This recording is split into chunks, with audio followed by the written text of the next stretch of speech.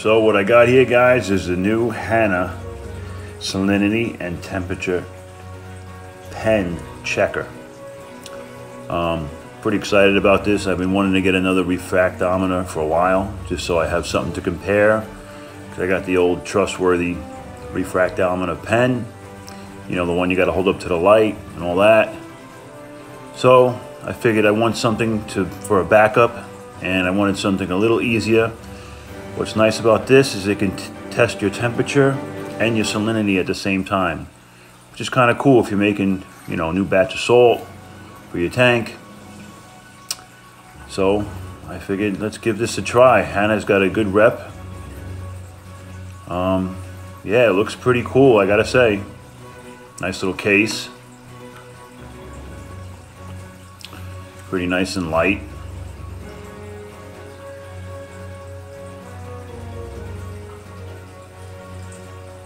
Battery operated.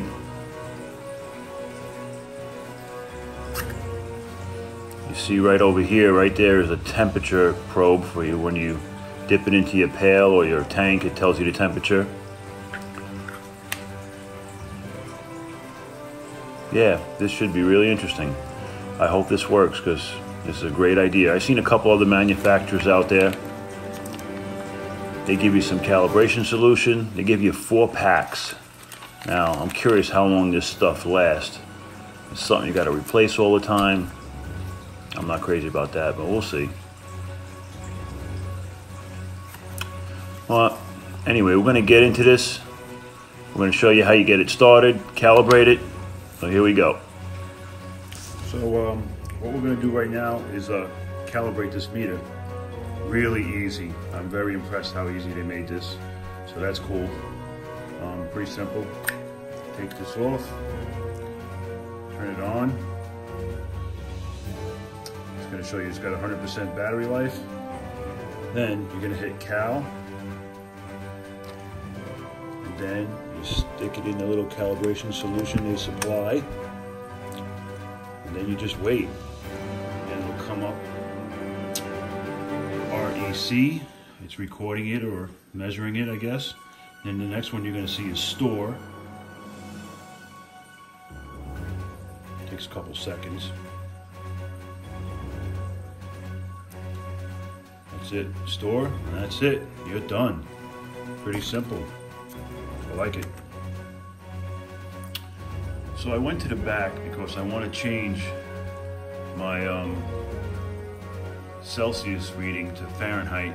So I live in the U.S. So just nice to know that you guys can um, do Celsius or Fahrenheit.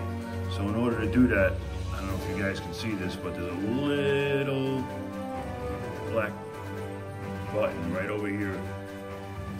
And you need something really tiny. This ain't gonna even work. So I had to use the tip of my knife here to um, get in there. And you press it and you can change the Fahrenheit, Celsius or Celsius to Fahrenheit, which I did. And then instead of seeing uh, 35 ppt, I wanted a, a reading where I can see it at 1.026. So I did that. And it seems pretty accurate. I'm pretty, uh, pretty impressed so far. We'll see what happens as I use it over the next couple months. Yep. So what we're gonna do now is we're gonna take this thing over to the tank and see how it does. All right, let's go. All right, so we're over at the tank and we are going to see how this thing does. So first thing I do is turn it on. Goes through its battery check, it's 100%, and it's ready to go. Just take it off the cover. I'm gonna dip it in there. 1.026 at 78.8 degrees. There's a little hourglass, I don't know if you guys can see that, that blinks. That's when it tells you it's done. So, pretty cool, pretty cool. Let's just check out the other tank while, we while we're here. So we're over at my other little tank, my little Pico Rocknem tank. Check that out, let's see. Six and 79 degrees. And if this thing works as good as it's working, I gotta say, I give it two thumbs up. I give this thing a snowman stand. Hope you guys enjoyed it. So I just made some new salt water for my little Pico rock flower anemone tank. And I'm gonna check out the new salt tester.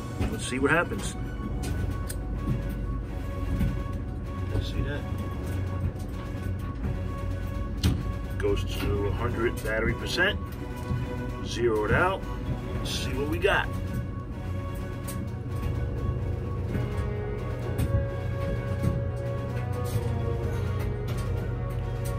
Yep.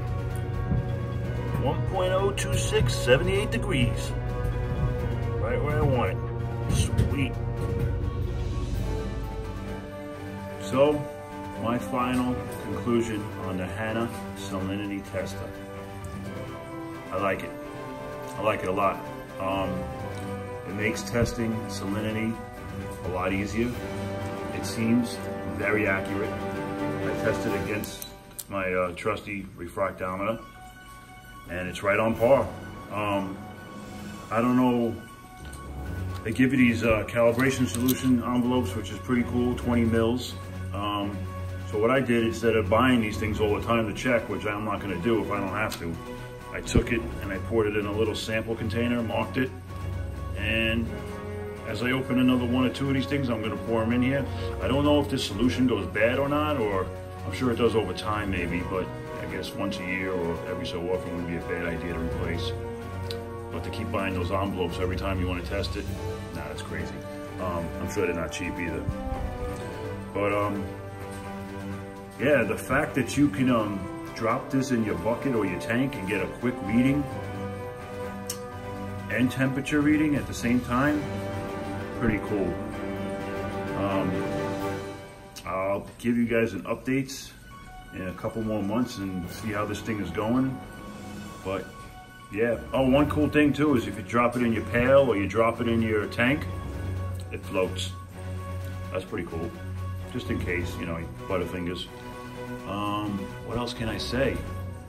Yeah, I so far, I give this the snowman approval. Thanks for watching, guys. I hope you enjoyed this video. I haven't seen too many out there yet, so yeah. Take care, guys. Happy weekend.